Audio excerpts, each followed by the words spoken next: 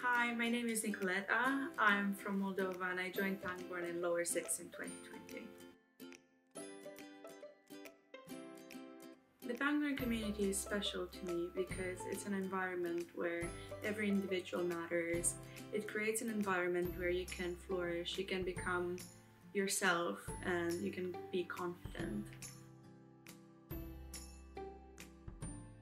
Some things I like about boarding is the community we have in the houses and the boarder trips and the um, time we have to spend with our friends. I like it when we're doing cinema trips or like going to different places like Bath or Thorpe Park and stuff like that. As an overseas pupil, my, the staff has helped me by feeling included helping me settle in and giving me advice when I needed it.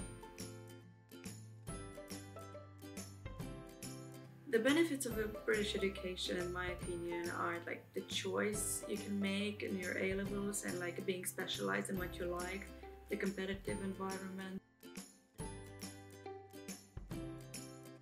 One thing I really like about Pangbourne is like the sense of community and the fact that it's very cozy and close and everyone like is worried about each other and asks each other how they are all the time.